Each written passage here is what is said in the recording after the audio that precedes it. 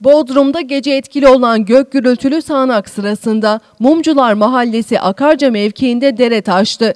Bu sırada bir nişandan dönen elektrik teknisyeni Çağlar Bencik'le iki aylık nişanlısı sosyal bilgiler öğretmeni Billuratik'in içinde bulunduğu otomobil sel sularına kapıldı.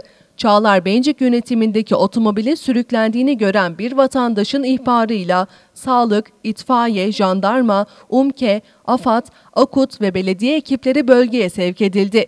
Yapılan arama kurtarma çalışmalarında Billuratik'in köprü korkuluklarına takılı cesedine ulaşıldı. Kayıp olan Çağlar Bencik'in bulunması için çalışma başlatıldı. Bir süre sonra Bencik'in de cansız bedenine ulaşıldı.